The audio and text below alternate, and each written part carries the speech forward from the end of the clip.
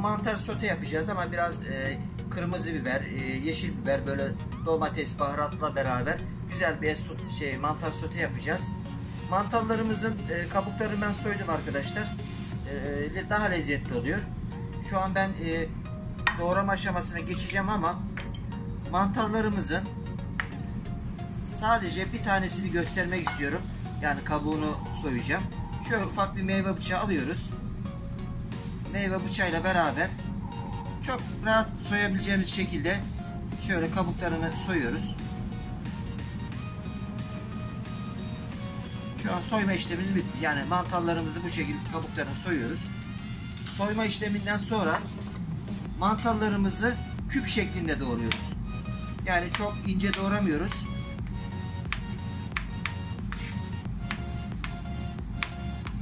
Ben şöyle yine tekrar göstereceğim. Biraz e, sot, mantar sotede diri kalmasını istiyorum.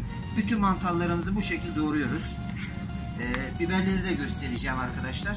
Biberlerimizi de çok ince doğramıyoruz.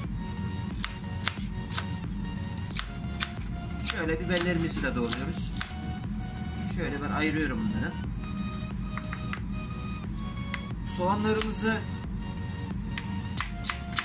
çok kalın değil, ince küp şeklinde doğruyoruz. Şöyle.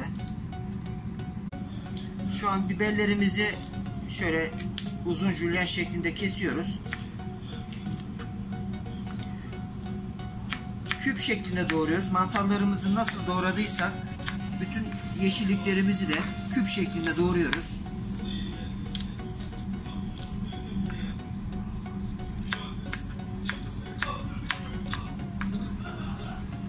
Şimdi domateslerimizi de domateslerimizi de aynı şekilde küp doğruyoruz. Yani oranlarımız aynı. Yani bütün mantar soteyi yapacaksak oranları aynı şekilde doğramamız lazım.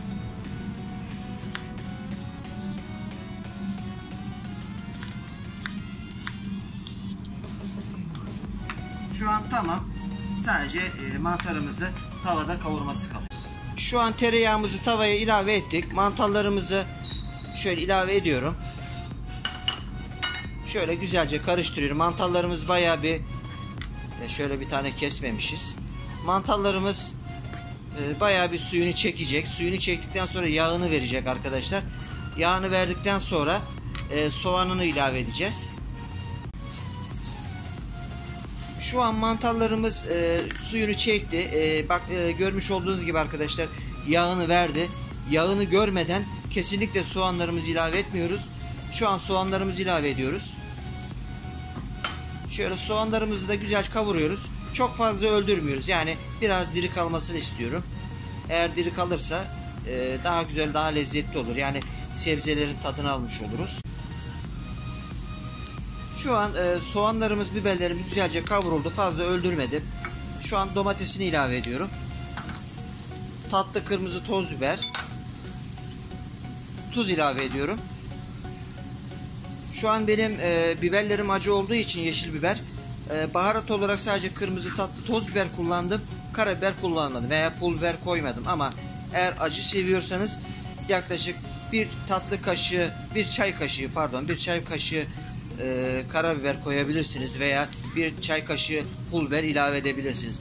O arzuya göre değişir ama ben onlara gerek duymadım. Biberim acı olduğundan dolayı.